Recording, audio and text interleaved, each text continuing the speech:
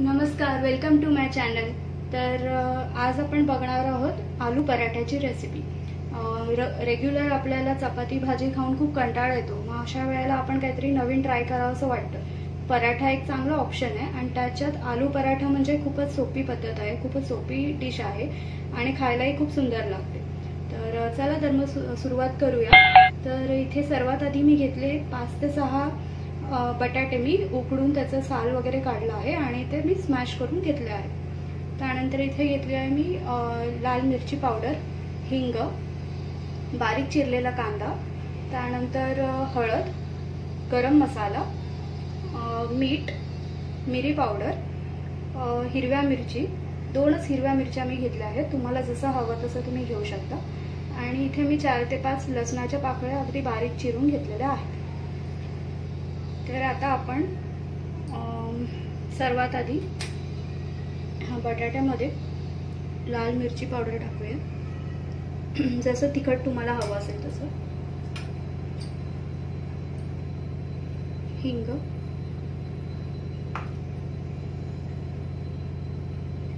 हळद. काळी मिरी पावडर. मीठ. गरम मसाला.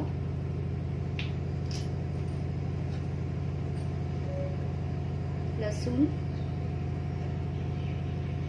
हिरव्या मिरच्या. आणि कांदा.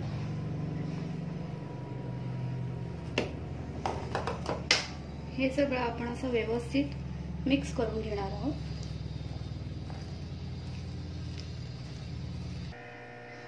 आता हे माझे सगळे जिन्नस ह्याच्यामध्ये मिक्स करून झाले आहेत. तर वरतून आपण थोडासा लिंबाचा रस पिऊया.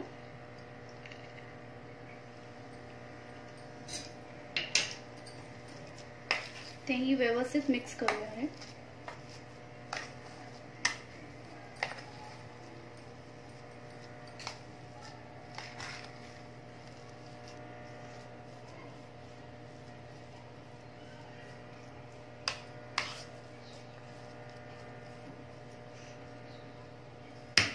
आता हे मिक्सचर आपण एक पंधरा मिनटं मॅरिनेट करत ठेवूया.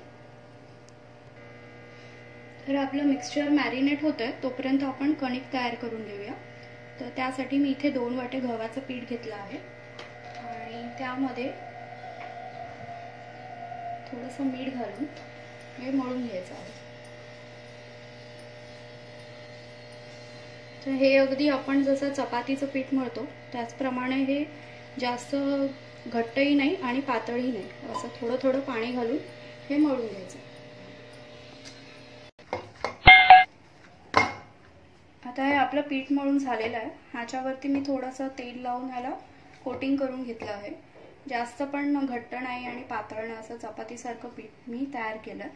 तर हे आपण एक दहा मिनटं आपण असंच ठेवूया आणि मग आपण पराठे करायला घेऊया. तर आता आपलं हे पीठसुद्धा एक दहा पंधरा मिनटं भिजत ठेवलं होतं. तर आपण ह्याचे मी गोळे तयार करून घेतले. साधारणतः आपण चपातीला करतो. त्याहून थोडासा मोठा गोळा करायचा आहे. आणि हा असा साईडने आधी लाटून घ्यायचा.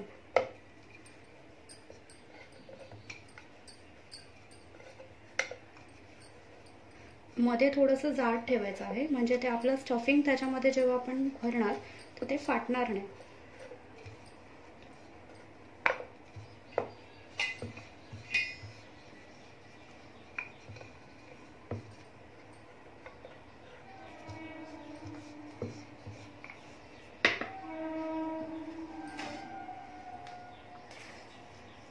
आता हे आपलं स्टफिंग तयार आहे.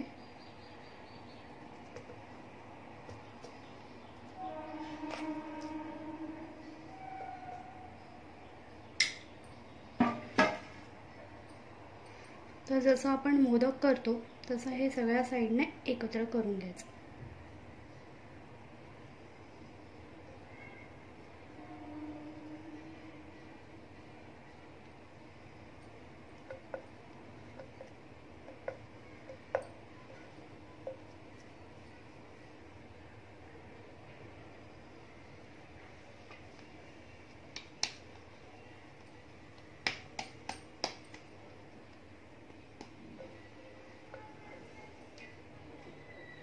असं पीठ लावून घ्यायचं. आणि हे हातानेच थोडंसं पसरवायचं. म्हणजे जे आपलं सारण आहे ते सगळीकडे इक्वली पसरलं जाईल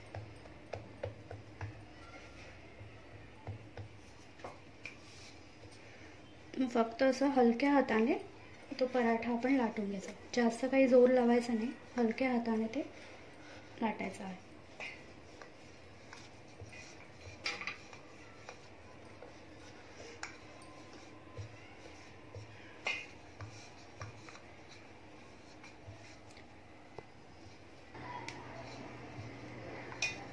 इथे आपला पराठा व्यवस्थित लाटून झाला आहे. हा थोडासा थिकच ठेवायचा. अगदी पातळ नाही करायचा. आपण भाजून घेऊ.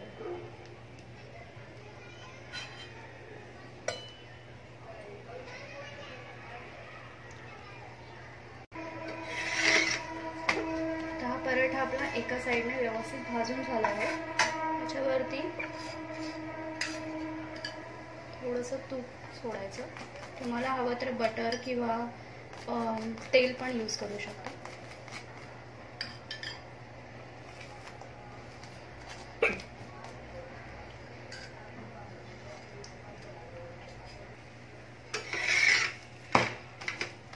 हे दोन्ही बाजूने आपले पराठे व्यवस्थित भाजून झाले आहेत.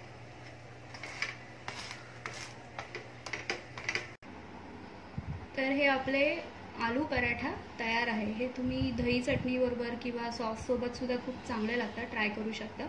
दही चटणीची रेसिपी मी ऑलरेडी चॅनलवरती अपलोड केली आहे. तर त्याची लिंक मी डिस्क्रिप्शन बॉक्समध्ये मेन्शन करते. तीसुद्धा तुम्ही बघून घ्या. आणि ही रेसिपी आवडली असेल तर माझ्या चॅनलला लाईक शेअर अँड सबस्क्राईब करायला विसरू नका. धन्यवाद.